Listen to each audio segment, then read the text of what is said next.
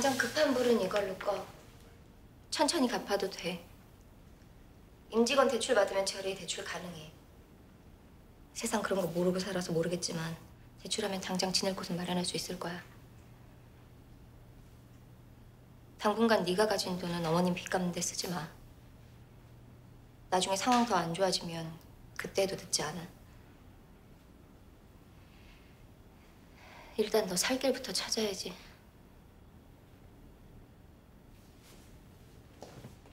네 말이 맞아. 나 오빠가 너랑 바람난 거 아닐까 의심했어.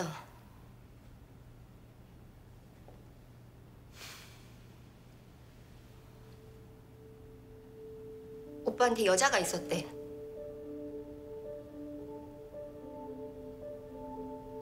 하, 입 밖으로 꺼내니까 더 비현실적이네.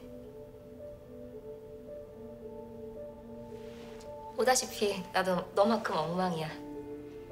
위로가 될지는 모르겠지만 주인공병 같은 건진 몰라도 이 와중에도 난 네가 신경 쓰이네. 그래서 또 이렇게 오지랖을 부리고 말이야. 거절하지 마. 그냥 내 만족이라고 해두자.